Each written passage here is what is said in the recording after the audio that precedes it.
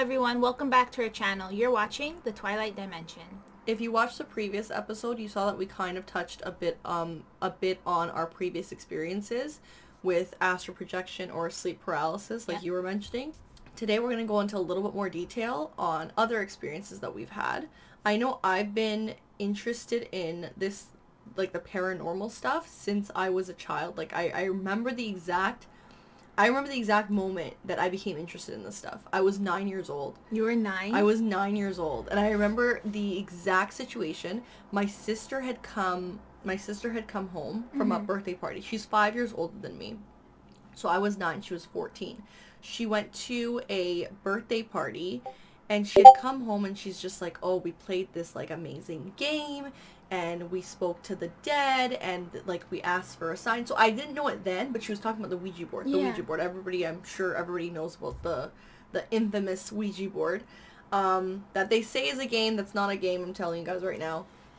Uh, so she came home and she told us this. I remember just hearing her talk about like the fact that they spoke to the dead and like you know they asked the the ghost for a sign and the ghost like slammed the door and no one was there like just the things that she said to me I remember that was the day that I was like, okay, so I grabbed my mom, like, listen, we're going to Kmart or Zellers or wherever it was. It was somewhere that, that's not open today. I Yeah. know it was some sort of department store. And they were selling it, and I remember the price. It was like nine ninety nine. so they're selling these games at Zellers? Yes, because they don't think it's real. It's real. They don't think it's real, okay? And I, I still, I think if you go to like Mastermind Toys or, um, I don't know what, what toy stores they have in like the States or whatever, um, I think that you can still buy the Ouija board for like dirt cheap.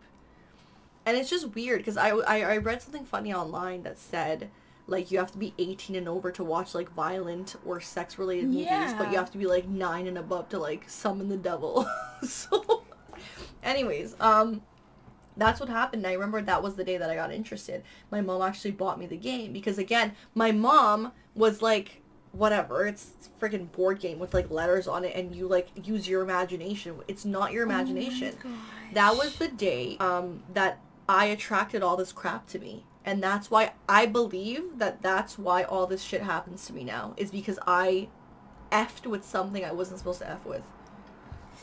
I really, I really believe that. Um, if you guys haven't played the Ouija board, don't. Don't do it. Don't, don't, play do it. And I feel like us saying don't do it, you're gonna do it now. But seriously, don't do it. Don't do It's not a game. It's like, it's not a game. Were you always interested in this stuff? Because I know we've known each other for like five, six years. We've known each other for for for a while now, Yeah. and we actually didn't like each other when we first No. met.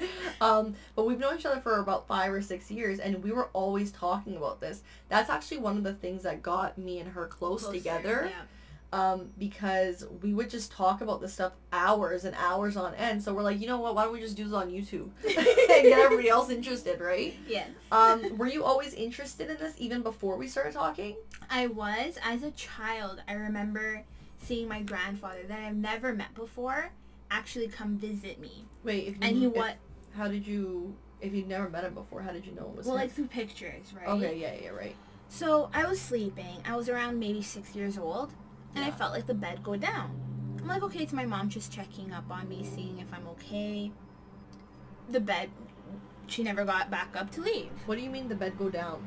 Like somebody was sitting on the bed. Oh, this is before Tempur-Pedic beds came out. Okay. So, time passed by. The bed was still being sat on. Yeah. And I decided to look over. I'm like, okay, it's weird. My mom shouldn't be here for this long. Why why isn't she going to Yeah. her room or out of the room? Then I see like this white figure. And with the figure it looked like my grandfather's face. So I look over. I'm six years old. I get freaked out, so I ended up kicking him just because I was so scared. sorry, I'm sorry. You you have to be one of the most gangster child children I've ever met in my life. Well, what You was I supposed the to ghost. do? Tell him go and talk to my grandfather? The one that you've never met. the one that I've never met. Be like, oh yes, hello, how are you? you were six. yeah. You know what? The the thing that I believe you more. First of all, I believe everything that you say, Yeah, but yeah. I believe you more because you were six. Yeah. Because I honestly believe that children see more than adults do. Than like adults do, I when I was a kid, I had so many more experiences, so many more feelings um where I sense so much more energy yeah than I do now. Like it's like as if it's like slowly every year that passes by I lose that gift or whatever. yeah Um, so I really believe that kids can see it. Like I have like I have a son. I have two kids. My oldest son, he's two years old. He things happen with him where I'm like he's seeing something. Like Yeah. he's for sure seeing something. yeah yeah Um, so I definitely believe the story even more because you were six years old. You know. yeah if I was like Um, 16 and saying this it would be kind of questionable maybe Yeah. but See, and I feel like people are think the exact opposite of us. yeah people would be like, wait, that doesn't make any sense. Six year olds have a wild imagination. I would believe her more if she was 16 rather than six. We're not like that. Uh, If you talk to a lot of people who believe in spirits and all the stuff, the paranormal, a lot of them will tell you kids see them definitely, they see them more. they see like, them more yeah For sure. What's the scariest thing that's ever happened to you? Like in regards to this stuff that we're talking about, obviously. I had mentioned the in the other episode what had happened to me and Like- what was the scariest one. the demons and the sleep the- paralysis? yeah, Okay. yeah. But I think the most interesting one was that there was one time where it was like three o'clock in the morning. I was sleeping, and I hear my f- parents fighting. hmm And so I wake up, I'm listening to them, but I felt really heavy. So I'm like, okay, is this normal? Why am I so heavy right now? Then I noticed that I was actually having a sleep paralysis, so I made myself wake up. How But did then- you make yourself wake up? Because a lot of people have sleep paralysis and they don't know how to wake up. How did you make yourself wake up? Did you pray? I just, yeah, I prayed until Yeah, I actually that's what I do. up. Yeah, yeah. Anytime I pray, that I wake up. Like, and the thing is, like, you can't really talk when you're in a You sleep paralysis. You can't, can't yeah. talk, so you just like think about the prayer. That's worked for me. Like, whatever works for you guys, like Yeah. whatever you guys have. But every single time I pray or I say like, you know, I do like my cross in my head or whatever, or I say Our Father Yeah. in my head, I always wake up. Yeah, so I ended up waking up. And then a couple of days later, I had another one of them fighting as well. They were fighting again. they were it? fighting again. So I'm like, this is my clue as in I am having another sleep paralysis. Okay, let's wake up. That's so weird. I have a clue too. When I'm in an astral projection and I don't know that I'm an astral projection, Mhm. if I see someone that's in that astral and they're talking and they're mute, that's how I know. That's how I know that I'm in an astral projection.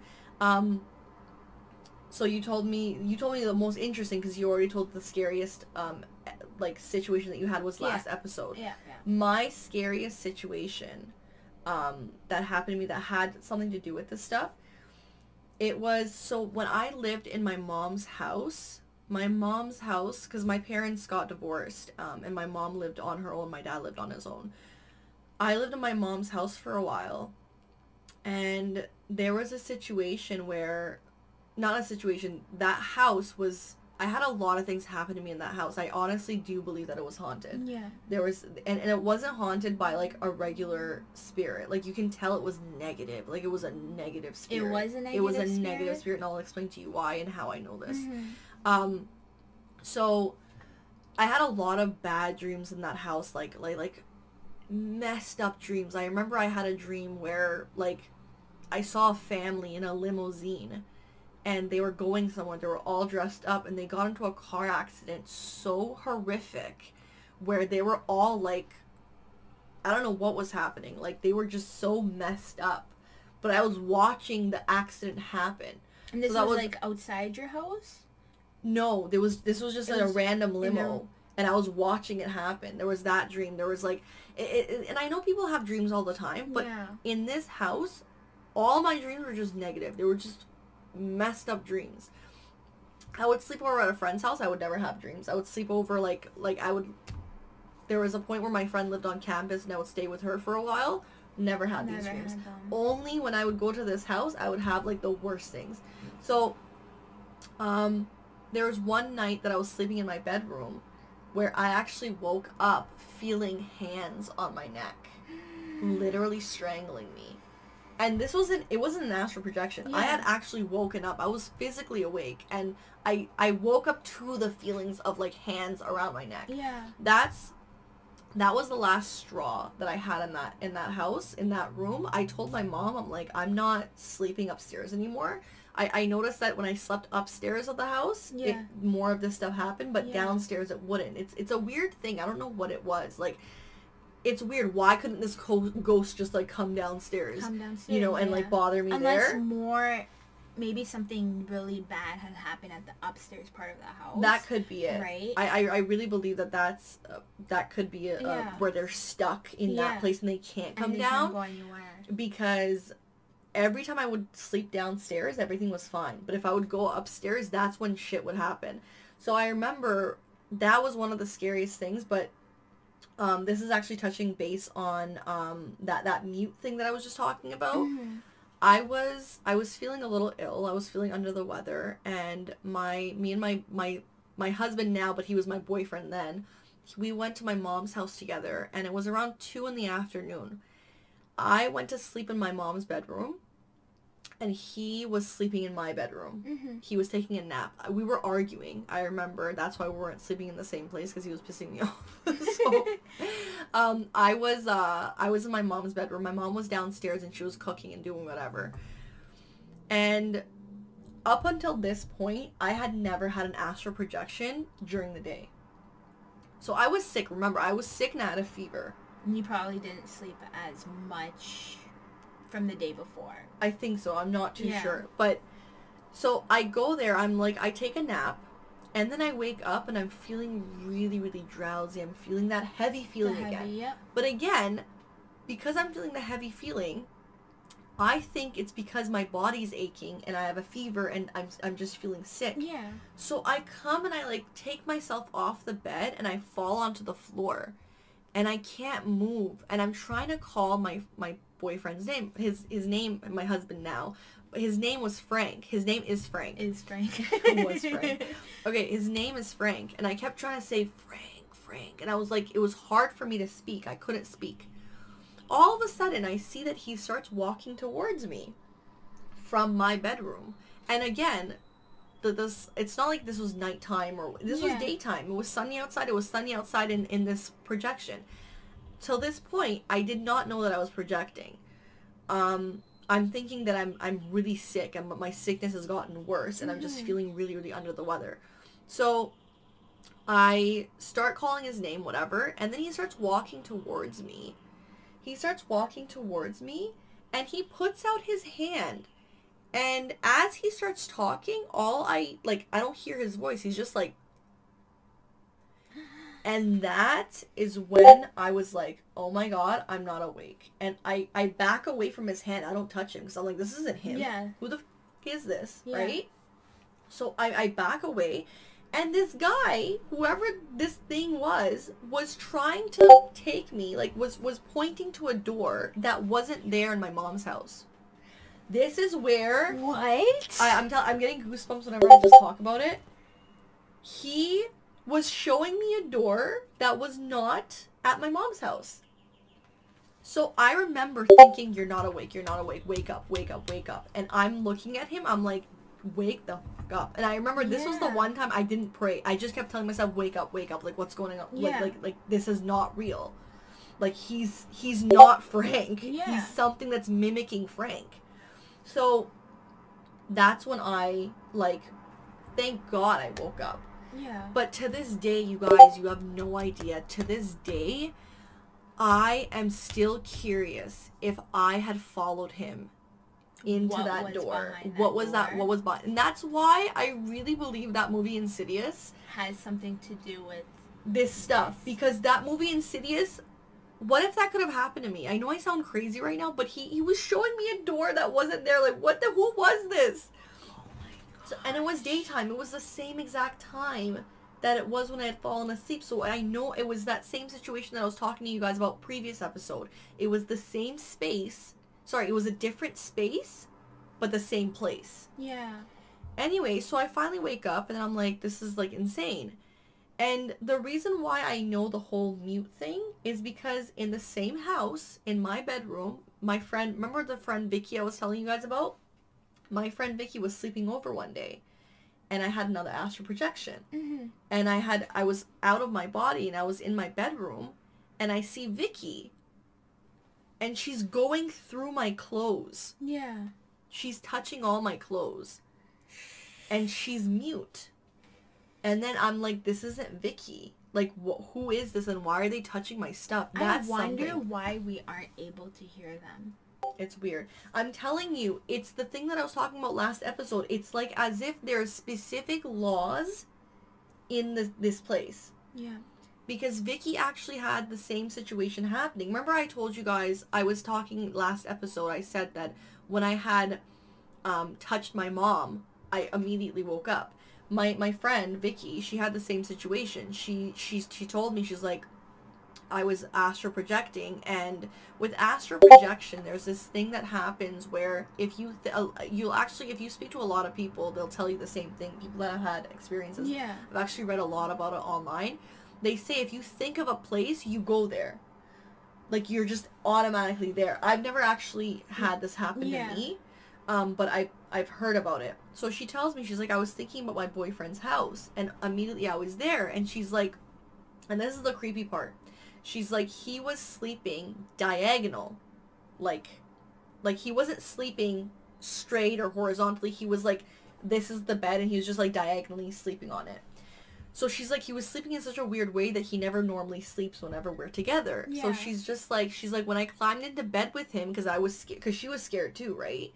She's like the second I touched him, I immediately woke up. And then I always thought I'm like, okay, is this a sort of law that's in this like dimension that if you touch like someone living, Yeah. you're breaking a rule and you just get like set right back. I don't know. This is something that I've always wanted. This is actually something that you guys can like if you guys have had astral projections and you have touched the living is has this happened to you because it's it's something that has happened to me and her And to her, yeah. multiple times. Um so the crazy part of this is she tells her boyfriend, her boyfriend's a complete skeptic. He doesn't believe in anything. This was like her then boyfriend. He doesn't believe in anything. He never believed in anything. He turns around and he's like, that's actually really weird because that I is how I sleep. So, like, yeah, coincidence it could be, but Who in my opinion, no. of somebody actually sleeping diagonally? though? exactly because he even said like I was sleeping that way last night. Yeah. So, and there's just so many more things that we'll talk about later, but um there's it's just this stuff is crazy, I'm telling you. Like and we really really want to hear you guys and your experiences because we have so many things to talk about Mm-hmm. and maybe if we kind of compare like what happens Stories, yeah. our stories, we could kind of get to the bottom of this. Even though I, I know unless we like die or something, we're never gonna get to the bottom of it. And it's fun to talk about. Like I love talking yeah, about this stuff. it's definitely fun. Yeah. So is there anything else that you wanted to touch base on? I actually do have a question. Yeah. So when you are about to astral project, do you see yourself sleeping as well, or is it just like a f- like nothing's there? Okay, so here's my thing. I've read a lot of people do see their body. Yeah. I've never seen my body. I've never actually seen my body. I know that Have I'm you ever my body. turned around to see it, or did you just decide to get up and go and do whatever you wanted to do, thinking you were actually awake? when when my remember my mom's house Yeah. two in the afternoon with with Frank. Yeah, When I turned around, the bed was empty. the bed was. I wasn't there, but my phone was there, and my phone was vibrating, and it was Mhm. getting text messages, and I could see that, but my body wasn't there. So that's that's what was weird to me. Um, I would never see my body, Yeah. but I would know that I'm out of my body. Like I don't know you how to You have that it. feeling. You get that. Yeah, you know you're right? you're you're awake, but you're Yeah. you're in some sort of other land. Like it's it's so weird. Like I'm telling you, it's another dimension. Yeah, I believe it. I believe it. It's crazy. Yeah, there's so many people. Like I know we sound crazy to people that have never experienced this or don't believe in like the the beyond or whatever, but there's so many people that do believe in this stuff because it has happened to them. Yeah, You know, like where we just don't understand it cuz we we've never experienced it. So I don't know. Maybe hopefully you'll have one soon. I'm kidding. I'm kidding. No. I don't wish this unless you Unless- actually want Yeah. this to happen to you. Um, I don't wish this on anyone because it's actually very very terrifying. Yeah, it's really So. creepy. Yeah. Um, I will say one thing though. I don't want to say it's very very terrifying. If you okay, because there's a lot of people. I actually take that back. There's a lot of people that do this on purpose, which is fine. Yeah. They have experience. Mhm. Were you gonna say? But you're able to control it. Exactly. Right. There are some people that are able to control so it. they do enjoy it. if you are one of these people that would like to like get into it, there are people that can teach you how to astral project where you can control What is happening? exactly. So when I say it's terrifying, don't do it. Um, don't listen to me. You can read up on it yourself. Yeah. And there are ways that you can control it. This is just my experience. So I don't like the fact that I said it's terrifying. And because you know what, you might have an amazing experience and I don't want to hold you guys back. This is just my opinion. Yeah, I, I, personally don't like doing it either. Like the second I would get sleep paralysis, I would force myself to wake up. But astral projecting, I think, is like on another level. yeah, literally. And and I don't want to. I don't want to deal with that personally. Yeah, me neither. Like, um, I I dealt with it a few times, and I'm just like, I'm I'm done. Yeah. I'm not I'm not okay with this Yeah. at all.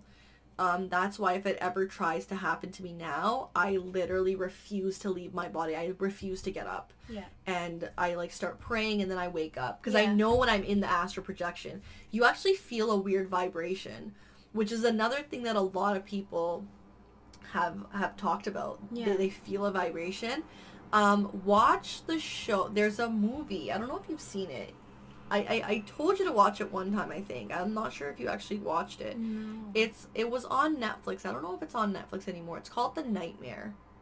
No, I don't think I watched it. It's all about astral projecting, but it, but it's mainly about people who accidentally astral project, which is like that's what I'm really interested in is people who have accidentally just like us, like Yeah. you you had that accidental um sleep paralysis and I have the accidental astral projection. That's what I really want to know, like who's had that. Yeah. Yeah. So, I mean, I feel like we have, like, talked a lot about this stuff. I mean, I think we've covered a lot. Yeah, yeah. Um, so, again, write to us. Email us at, um, The Twilight Dimension 444 at gmail.com. thank you. You're welcome. I forgot our email address. Um, and you can even message us on Instagram at the Twilight Dimension. Um, we also have Twitter. yeah, at the Twilight Dim. Okay, and then and I think that's it. I think that's all the social medias that we have. okay, well, we look forward to hearing from you. Don't forget to like, comment, and subscribe. And hopefully you've had fun because we actually, like I said before, we love talking about this stuff. So Yes, thank you again so for joining us. Okay. Thank you. All right, bye.